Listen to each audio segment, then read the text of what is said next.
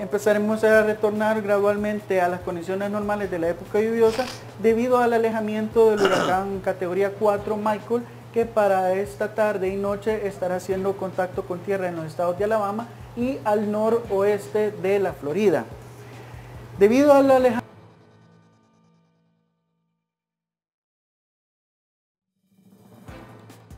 empezaremos a retornar gradualmente a las condiciones normales de la época lluviosa debido al alejamiento del huracán categoría 4 Michael que para esta tarde y noche estará haciendo contacto con tierra en los estados de Alabama y al noroeste de la Florida. Debido al alejamiento de este sistema, la zona de convergencia intertropical regresa a su normalidad, pero debido a los remanentes de humedad, para ahora esperamos que las precipitaciones siempre se alojen,